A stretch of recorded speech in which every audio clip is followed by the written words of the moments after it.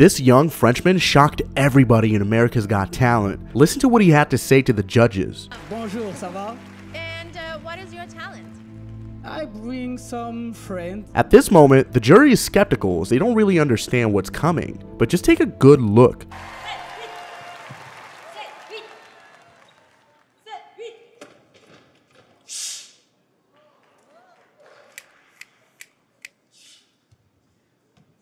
Look closely. All the women are covering their eyes with their scarves.